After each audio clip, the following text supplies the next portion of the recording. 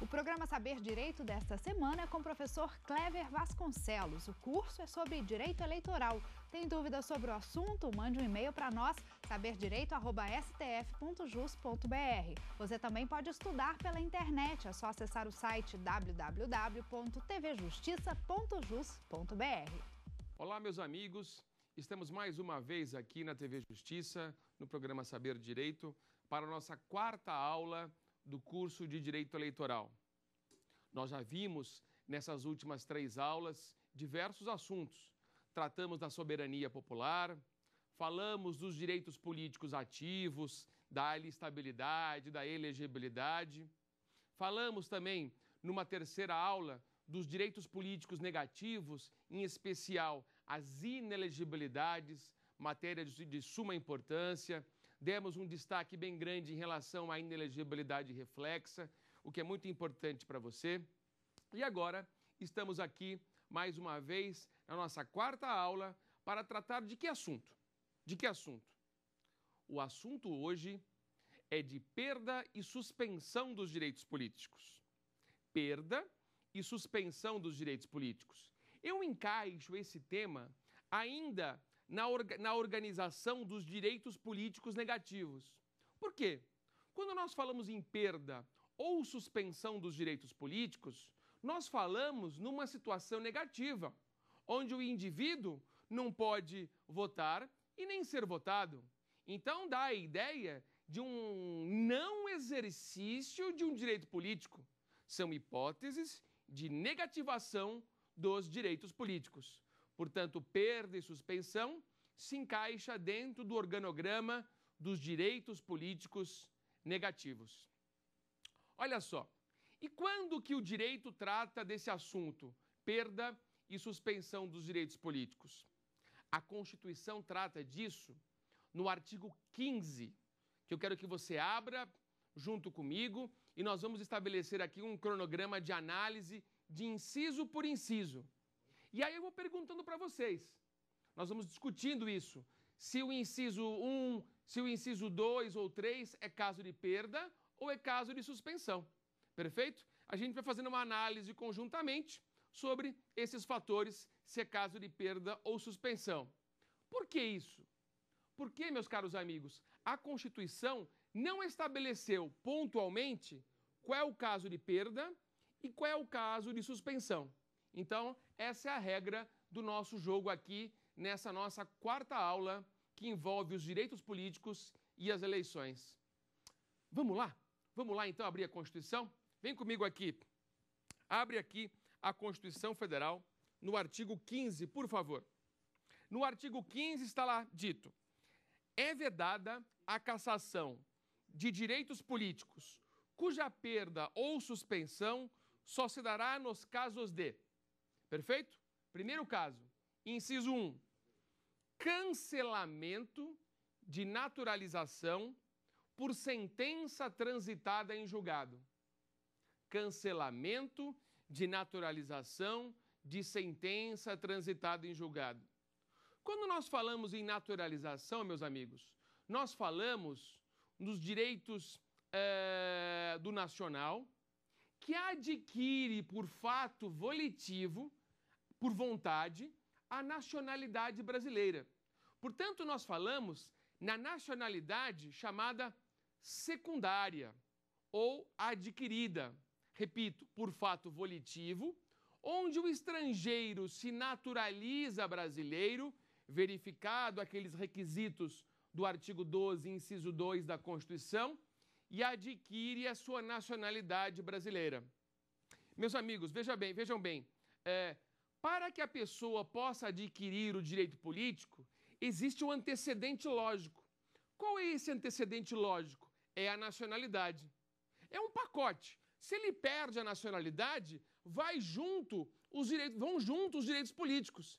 Então, se o brasileiro naturalizado perdeu a sua nacionalidade secundária, ele perde os direitos políticos. E veja bem, quando que o brasileiro naturalizado pode perder a sua nacionalidade? Ele pode perder a, su a sua nacionalidade pela denominada perda-punição. Você lembra disso no direito constitucional? Eu vou relembrar você. A perda-punição é aquela hipótese que o brasileiro nato pratica ato nocivo ao interesse nacional. Pratica ato nocivo ao interesse nacional com base no artigo 12, parágrafo 4 inciso 1 da Constituição Federal. É, ele é demandado pelo Ministério Público Federal, uma ação que corre na Justiça Federal, e quando a sentença transitar em julgado, ele perderá a sua nacionalidade com efeitos ex nunc, ou seja, não retroativos. Dali para frente, ele deixa de ser brasileiro. Se ele deixa de ser brasileiro, ele deixa de possuir os direitos políticos. E aí, ele perde ou tem suspenso os seus direitos políticos? A resposta é objetiva. Ele perde os direitos políticos. Ele não tem suspenso os seus direitos políticos porque não é mais brasileiro. Agora, veja bem, eu disse aqui, nós estamos conversando sobre a perda da nacionalidade do brasileiro secundário. Agora eu vou jogar uma questão para você e analisa comigo isso aqui. Olha só, veja bem. Suponha que o indivíduo é brasileiro nato. Ele é brasileiro nato. Portanto, não é naturalizado. E o artigo 15 não fala isso. E aí, esse brasileiro nato se naturaliza estrangeiro. Portanto, ele deixa de ser brasileiro nato. Ele perde a sua nacionalidade primária. Nós temos essa hipótese. Eu não estou falando aqui daquela possibilidade de você ter reconhecida uma nacionalidade estrangeira. Por exemplo, muitos brasileiros têm reconhecida a nacionalidade portuguesa, a nacionalidade italiana, a nacionalidade alemã por força do ius sanguine. Eu não estou falando disso.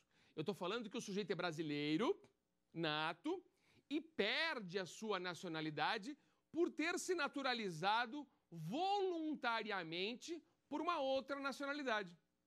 Não está no artigo 15 isso. Mas diante de um raciocínio sistemático constitucional, é importante que nós tenhamos em mente que essa pessoa, brasileiro primário, brasileiro nato, também, também vai perder a sua nacionalidade.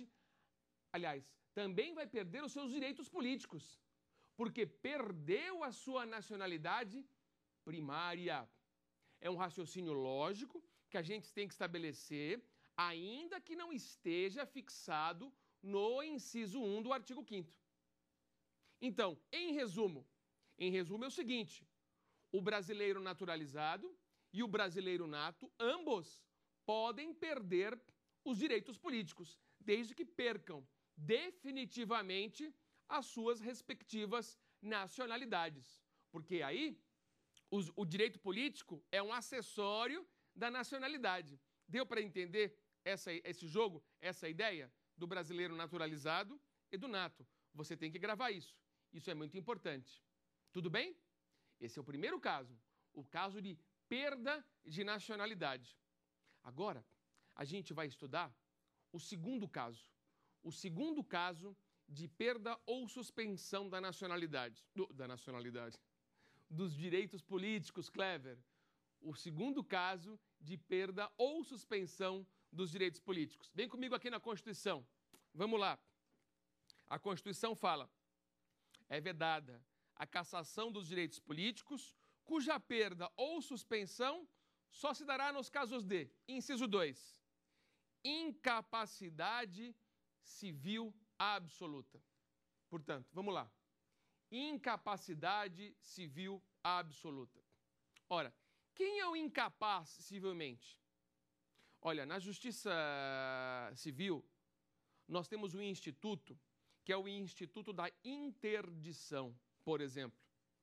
Aquele que é, é objeto de uma ação de interdição, ele vai receber uma sentença onde o juiz nomeará um curador, nomeará um curador para é, administrar a vida civil desse indivíduo. Por quê? Porque falta-lhe capacidade, falta capacidade a ele do exercício dos atos da vida civil. Ora, se o indivíduo é interditado, ele vota? Não, ele não vota.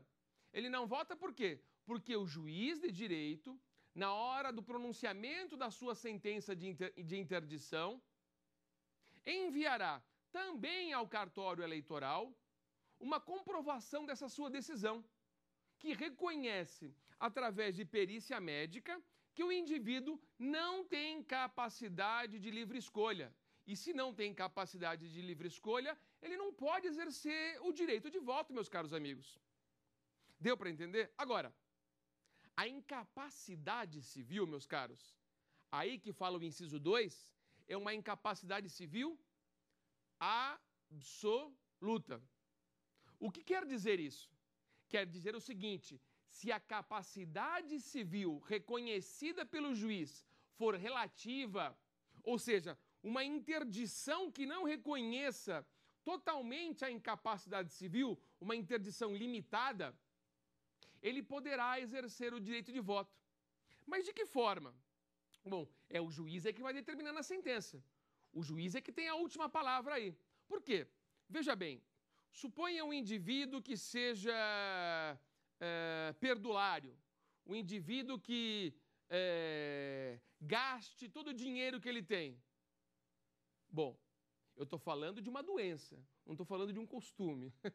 Perfeito? Então veja bem, na ideia, o indivíduo tem uma doença incontrolável de gasto do seu patrimônio. O juiz pode determinar que aquele indivíduo ele não possa exercer atividade civil para realização de negócios, para movimentação bancária, para movimentação de dinheiro. Isso não quer dizer que ele não possa exercer o direito de voto. Então, a incapacidade civil pode ser relativa e aí sim, ele não tem perdido ou suspenso os seus direitos políticos. Agora, agora, agora é o problema. Será que isso aí é caso de perda ou suspensão dos direitos políticos? Meus caros amigos, isso vai depender de cada caso. Porque veja bem, se a, so a pessoa sofre de uma anomalia psíquica, ela é interditada. Isso quer dizer que ela vai ser, ela vai ser anômala psiquicamente por o resto da vida dela? Não. Pode acontecer da pessoa voltar à sua normalidade. Então isso vai durar conforme os efeitos daquela anomalia na pessoa. Então, eu posso classificar o inciso 2 como caso de perda ou como caso de suspensão, dependendo da hipótese. A hipótese mais comum, mais, a hipótese mais comum que os manuais de direito constitucional tratam do assunto é a hipótese de perda. É a hipótese de perda. Mas nada impede que o indivíduo possa, possa receber a suspensão se cessado o efeito da anomalia. Perfeito? Então nós temos aí a segunda hipótese via de regra de perda, por incapacidade civil absoluta. Sabe o que você faz no seu caderno, no seu tablet, no seu computador, que você está assistindo aí? Grife a palavrinha absoluta e grava para não ter problema. Assim você não vai errar nenhuma questão se você for fazer uma prova, um concurso público, um exame de aperfeiçoamento, para gravar bem essa matéria. Perfeito? Ótimo. E agora? E agora nós temos o terceiro inciso. É, o terceiro inciso sobre a cassação ou a perda dos direitos políticos. E esse inciso 3 eu reputo mais importante. Por que eu reputo mais importante? Porque ele trata de uma situação que podem existir casos práticos, muitos casos práticos, que possam induzir o candidato, induzir o aluno, induzir o intérprete a erro. Vamos fazer a leitura? Abre aí. Artigo 15, inciso 3 da Constituição. Vamos lá. Condenação criminal, condenação criminal transitada em julgado enquanto durarem seus efeitos. condenação criminal transitada em julgado enquanto durarem os seus efeitos. Olha como é importante essa análise. Olha como é importante. Veja bem. A condenação aqui, meus caros, a condenação aqui é por crime. A condenação aqui é por crime. Se for uma condenação criminal por contravenção penal. Mas, Clever, deixa eu fazer uma análise do ponto de vista criminal. As contravenções penais, elas se encaixam na hipótese dos uh, delitos de menor potencial ofensivo, abrangidos pela Lei 9099-95, a Lei dos Juizados Especiais Criminais. Ah, então tá certo. Essa Lei dos Juizados Especiais Criminais trata de um procedimento específico para apurar esse tipo de responsabilidade por contravenção penal. E eu vou mais além. Se os delitos forem de menor potencial ofensivo, abrangidos pela Lei 9095, 9099/95, ainda que sejam crimes, como é que a gente vai responder essa questão? A gente vai responder essa questão pela natureza jurídica do ato homologatório que reconhece a transação penal. O ato homologatório que reconhece a transação penal não é sentença criminal, não tem efeito de condenação. Portanto, nesse caso, não há a suspensão dos direitos políticos. Aquele que faz a transação penal com base na Lei 9099-95 não é condenado criminalmente, no caso de transação. Portanto, não tem perda e não tem suspensão dos direitos políticos e a vida vai normalmente. Perfeito? Então, a gente faz uma pausa agora e vamos para uma pergunta de um dos nossos colaboradores sobre o tema no dia de hoje. A lei distrital, estadual ou municipal pode criar outras hipóteses de inelegibilidade? Senhores, existe uma coisa chamada cláusula de reserva. Cláusula de reserva constitucional. Ou seja, é só a Constituição que confere os graus de direitos políticos positivos, de alistabilidade e de elegibilidade. E ela própria, só a Constituição, é que pode estabelecer os denominados direitos políticos negativos, ou seja, as inelegibilidades e as hipóteses de perda e suspensão dos direitos políticos. O organograma todo, o arcabouço todo, está é, organizado no artigo 14 e no artigo 15 da Constituição.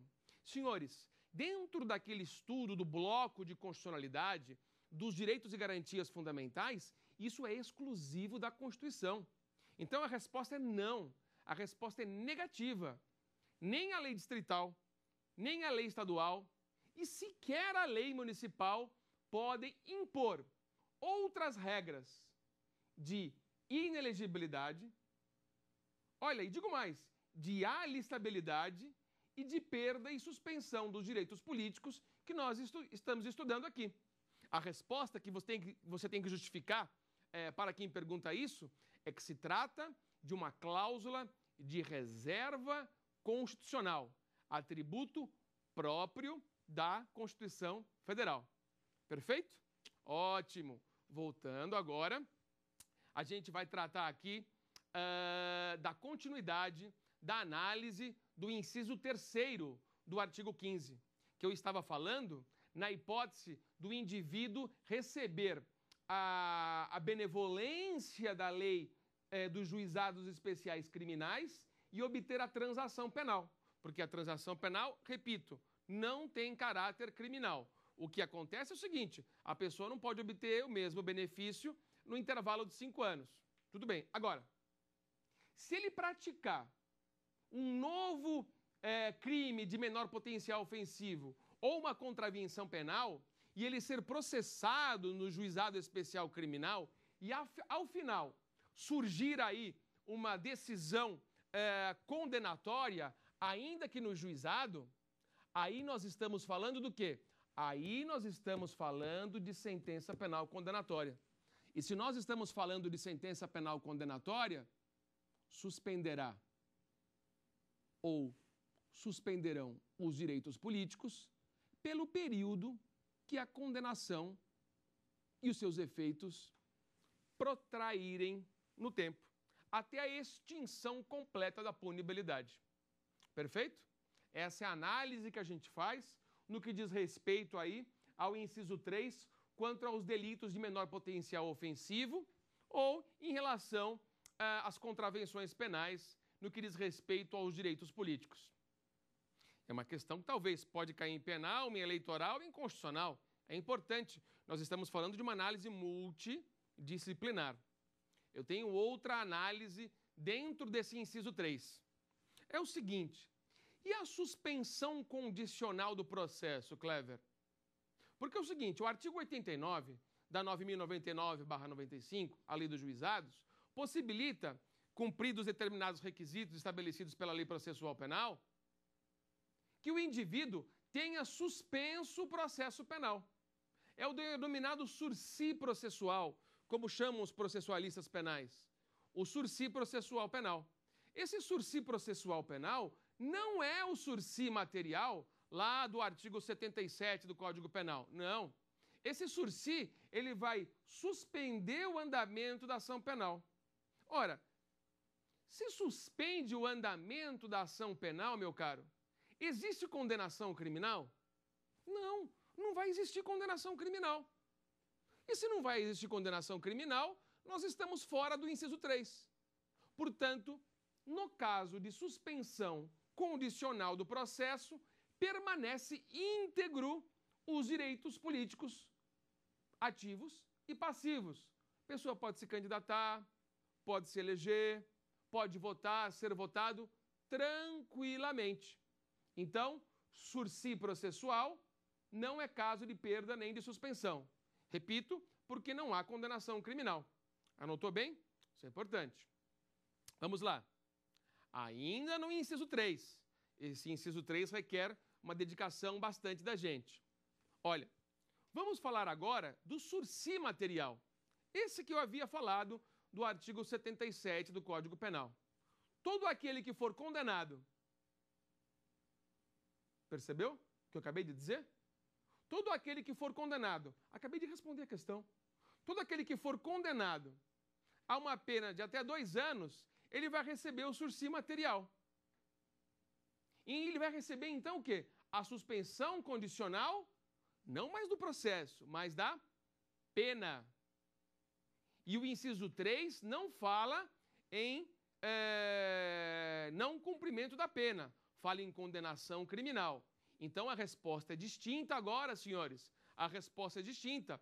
Todo aquele que for condenado e ainda que receba a suspensão condicional da pena, não é suspensão condicional da, da condenação, é suspensão condicional da pena ele ainda permane ele permanecerá com os direitos políticos suspensos.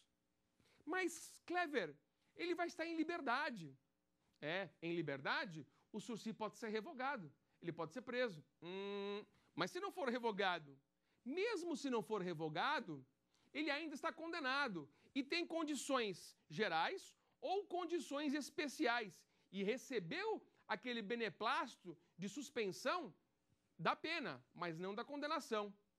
Ele não votará até a extinção da punibilidade. Repito, extinção completa da punibilidade lá nos termos do artigo, 100, do artigo 107 do Código Penal. Então a resposta, sursi material, sursi material, ele tem suspenso os seus direitos políticos, porque foi, repito, foi condenado. Tá legal? Vimos a transação, vimos o sursi processual, vimos o sursi material. Vamos ainda caminhar um pouquinho no inciso 3. Aqui. Vamos pensar um pouquinho. Imagine que o sujeito recebeu como sanção penal, no caso de uma condenação qualquer, a pena exclusivamente pecuniária. Pecuniária, pena de multa. Ou a pena restritiva de direitos. Ele vota ou não vota? Clever, ele foi condenado. Se ele foi condenado, não importa se é pena de multa, se é pena restritiva de direitos. Foi condenado, não tem jeito. O inciso 3 é bem claro nesse sentido. Havendo condenação criminal, ainda que em liberdade, ainda que pena de multa, ainda que a pena esteja parcelada, ele não poderá votar. Terá os seus direitos políticos suspensos. Pena de multa, direitos políticos suspensos. Até quando? Até a extinção completa da punibilidade com pagamento da parcela da, da última parcela da multa a que ele foi condenado. Perfeito? Vimos aí então a hipótese da pena restritiva de direitos e da pena de multa em relação aos direitos políticos. Mais uma, eu trago mais uma para vocês. E qual que eu vou trazer para vocês? Eu vou trazer aqui a hipótese da prisão albergue domiciliar, do indivíduo que está em sede de execução penal, uh, beneficiado em regime aberto ou mesmo com a prisão albergue domiciliar. Portanto, em liberdade. Ele vota? É claro que não. É claro que não vota. Por que, que não vota, meus amigos? Porque o sujeito está cumprindo pena. Está em sede de execução penal. E quem está em, quem está em sede de execução penal, de forma alguma, pode é, exercer o direito de voto porque foi condenado. Porque foi condenado. Se foi condenado, está em execução penal, é caso aí de aguardar a extinção da punibilidade até que ele possa reingressar no mundo do direito eleitoral. No mundo do quê? Uma vez egresso, uma vez extinta a punibilidade, está normalizado, pagou o que ele tinha que pagar com a justiça penal, portanto, volta, readquire os direitos políticos e aí se fala em caso de suspensão. Eu posso falar mais um pouquinho, ainda aqui com vocês, de uma hipótese de um incidente, de uma medida cautelar em sede de execução. É, uma medida cautelar. Como assim uma medida cautelar em sede de execução? Ué, um livramento condicional.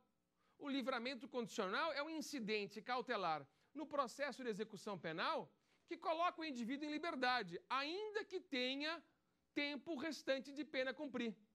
Senhores, quem é beneficiado com o incidente cautelar do livramento condicional também não vota. Por quê? Pela mesma razão do que eu disse anteriormente. Porque ainda não está extinta a punibilidade dele. Então, ele ainda merece aguardar a extinção da punibilidade para exercer o seu direito de voto ou mesmo ser votado, no caso de livramento condicional. Perfeito? Ótimo. E agora? Ainda no inciso 3, hein? Poxa, Clever, quantas hipóteses tem no inciso 3? Ah, eu vou trazer mais uma para você. Vamos pensar junto? Eu acho que eu já falei isso para você em algumas aulas anteriores, mas é, não é perda de tempo, é ganhar tempo e ganhar conhecimento, uma eventual revisão nesse assunto. O adolescente infrator, aquele que pratica ato infracional, aquele que pratica ato infracional, que cumpre a sanção, a medida socioeducativa mais restritiva, que é a internação, ele vota? É lógico que ele pode votar. Ele não foi condenado criminalmente. Ele não foi condenado criminalmente, não tem problema nenhum. Ele pode exercer o direito de voto, desde que a justiça eleitoral esteja organizada e preparada e até o dia 5 de maio daquele ano das eleições, ele tenha feito a opção de votar no estabelecimento de internação. Eu disse para vocês aqui que nós temos no Brasil mais ou menos 18 a 17 mil adolescentes internados. Olha que número grande. Mais ou menos hoje. E desses adolescentes internados, o dado que eu tenho na última eleição é que mais ou menos 7 mil adolescentes internados votaram. Porque fizeram a opção de voto até o dia 5 de maio, no ano daquela eleição. Perfeito. Mas aí nós temos uma hipótese uh, do Estatuto da Criança e do Adolescente. No seu artigo 121, parágrafo 3, fala que o adolescente internado, ainda que tenha completado a maioridade, 18 anos, ele ainda pode ter prorrogado a sua internação por três anos. Então, 18, 19, 20, 21. Ele pode ficar até 21 anos preso e internado. Quer dizer, preso. É, recolhido, porque ele não é maior de idade. E como é que funciona? O eleitor obrigatório, maior de 18, com título de eleitor, pode exercer o seu direito de voto? Ele deve exercer o seu direito de voto, porque o voto é obrigatório. Mais uma vez, se ele não foi condenado criminalmente, mas recebeu uma medida socioeducativa de internação que não tem natureza jurídica de sentença condenatória, ele deverá votar. E manifestar o desejo de fazê-lo até o dia 5 de maio do ano da eleição, para que possa exercer o seu direito de voto. Ainda que você não goste da possibilidade desse adolescente, agora não mais adolescente, adulto, votar. Mas a interpretação do artigo 15, inciso 3, a gente tem que ser bem claro. Se fala em condenação criminal por crime previsto no Código Penal ou nas leis especiais, não em relação aí à medida socioeducativa, a ato infracional estabelecido no, no ECA, eh, no Estatuto da Criança e do Adolescente. Perfeito? Então, com isso aí, nós terminamos a análise aqui do inciso 3, que é a condenação criminal transitado em julgado, enquanto durarem os seus efeitos. Ótimo! Temos aí, portanto, mais uma questão dos nossos colegas que participam do programa de hoje. Vamos a ela? Qual é o fundamento utilizado pelo STF a reconhecer a aplicação imediata da lei da ficha limpa? Perfeito. O colega está perguntando, portanto, qual é o fundamento que o STF utilizou para a aplicação imediata da lei da ficha limpa? Olha, senhores, esse é, trata-se de um princípio que nós conhecemos no direito constitucional eleitoral, que é o princípio da é, legalidade especial eleitoral, previsto no artigo 16 da Constituição. Vamos ao artigo 16? diz o seguinte: a lei que alterar o processo eleitoral entrará em, entrará em vigor na data da sua publicação, não se aplicando à eleição que ocorra até um ano da data da sua vigência. Repito, a lei que alterar o processo eleitoral entrará em vigor na data da sua publicação, não se aplicando à eleição que ocorra até um ano da data da sua vigência princípio da legalidade especial eleitoral ou mesmo da anualidade eleitoral. Senhores, a questão é a seguinte: quando o Supremo Tribunal Federal recebeu a modificação da lei da ficha limpa, a lei complementar 135/2010, se teve aquela ideia, puxa, essa lei se aplica imediatamente, não se aplica imediatamente, como lidar com esse tipo de situação? Aplica-se o princípio da anualidade eleitoral nesse caso? A verdade é a seguinte, meus caros colegas. A verdade é que a lei, essa lei, a 135/2010, que modificou a lei complementar 64/90, a denominada Lei das Inelegibilidades, ela não veio alterar aqui, de uma certa forma, o processo eleitoral. Não veio alterar, de uma certa forma, todo o conteúdo eleitoral ela veio alterar a, uma das condições de elegibilidade. Que era o quê? Que era você não possuir uh, uma sentença criminal, pelo menos um dos casos, uh, ainda que por colegiado, naquele determinado instante. Então, nós não falamos de processo eleitoral. Nós falamos de quê? Nós falamos de condição de elegibilidade. Portanto, a aplicação é imediata. A aplicação é, desde já, nesse caso, em relação à lei eleitoral, prefeito, que modificou a lei complementar 64/90. Vamos agora, senhores, tratar um pouquinho de mais uma causa uh, de perda ou suspensão dos direitos políticos. Vamos lá? Nós estávamos falando do inciso terceiro. Agora vamos falar do inciso 4. Do inciso 4.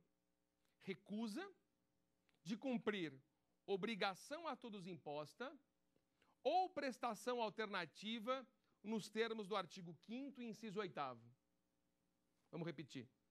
Recusa de você cumprir uma obrigação legal a todos imposta nos termos do artigo 5 inciso 8 da Constituição. Primeira coisa, o que trata o artigo 5 inciso 8 O artigo 5 inciso 8 ele trata de uma coisa chamada escusa de consciência. Uma desculpa de consciência. Por três critérios: por convicção religiosa, filosófica ou política. Ou seja, nós temos no Brasil, no regime constitucional, a liberdade de manifestação do pensamento, sendo vedado anonimato. A livre manifestação do pensamento. Então, o indivíduo, na sua liberdade de consciência, por qualquer motivo, ele não cumpriu uma obrigação legal a todos imposta. Por exemplo, serviço militar. O homem é obrigado a prestar o serviço militar. As mulheres e os eclesiásticos não. E esse homem não cumpre o serviço militar, que era obrigatório. O que acontece? Ele tem a opção de é, prestar uma obrigação alternativa, fixada na lei. Se mesmo assim ele não presta essa obrigação, o que vai acontecer? Ele terá suspenso os seus direitos políticos. Ou alguns chamam até perdeu os seus direitos políticos. Por quê? Porque ele não poderá é, votar nem ser votado se não cumprir essa determinação legal. Então, é, o que vai se fazer? Vai se aguardar ele cumprir essa obrigação, para que aí sim ele possa exercer os direitos políticos. Então, pode existir um caso de perda, se ele nunca mais cumprir essa obrigação, ou um caso de suspensão, no caso ele venha a estabelecer esse tipo de obrigação. Isso também é aplicado, por exemplo, no serviço do júri. No serviço do júri, que é obrigado se participar do conselho de sentença, ser intimado e comparecer ao tribunal do júri como jurado, também tem essa hipótese. O juiz nos termos da legislação processual penal, ele pode determinar que a pessoa cumpra uma prestação alternativa. E se ele não cumprir essa prestação alternativa, a mesma coisa. Ele fica com os direitos políticos paralisados, suspensos se realizar, ou perdidos se não realizar, no que diz respeito à atividade política inerente à pessoa desse nacional. Deu para entender? Aí vem uma pessoa e me pergunta, Clever, é o seguinte, suponha que o indivíduo ele não exercisse o seu direito, o direito de voto. Porque é o seguinte, o voto é obrigatório. E eu respondi nas aulas anteriores que o voto obrigatório ainda é cláusula pétrea. Mas espera um pouquinho, eu sou obrigado a exercer o direito de voto? Eu sou obrigado a exercer o direito de voto? É uma obrigação legal a todos imposta pela minha convicção é, filosófica ou, uh, ou religiosa, eu posso ser dispensado disso? Oh, pera um pouquinho. Para tudo. É o seguinte: você pode não exercer a opção ideológica de escolha de candidato. Através de que instrumentos? Dois. Através da justificativa eleitoral ou através do voto em branco. E eu vou mais além, até do voto nulo. Por quê? Porque a teclinha em branco da urna eleitoral, ela só existe diante do artigo 5 inciso 8 que possibilita você não se manifestar ideologicamente sobre determinado candidato ou partido político. É só por isso que existe o voto em branco. Porque senão também teria uma tecla voto nulo na cédula eleitoral, na urna eleitoral. E não tem. Perfeito? Então, o voto em branco é aquele voto em relação à escusa de consciência. Portanto, você é obrigado a comparecer à sessão, mas não a opção ideológica. Perfeito?